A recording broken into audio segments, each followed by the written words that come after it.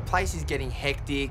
There's drama happening, and I just thought, how am I going to break this up? How am I going to get release some of this stress? And my go-to is always dancing. I don't want I was just started dancing on my own, and Robbie came up and um, wanted to learn a few moves. So we're going to drop, and then you come up Drop. Yeah. Okay. Ready? What are we doing?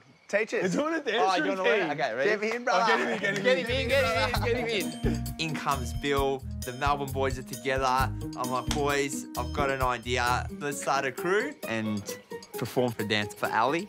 Punch in, crease, down, around, mm, boom, up, Look at these boys, mate, practicing their, the dance. boom, the throw, down.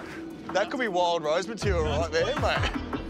We've all put a lot of heart and soul into this routine.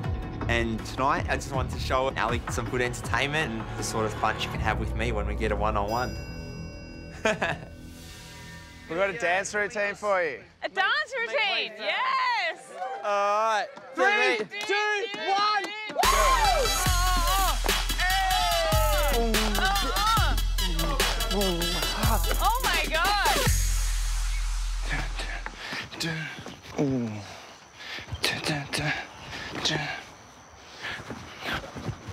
Boom, boom. Ooh.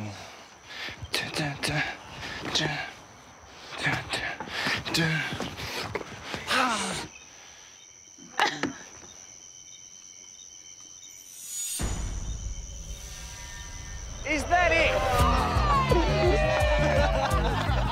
Dance was absolutely terrible, and you can tell that it was a sloppy rendition. These guys are absolute idiots.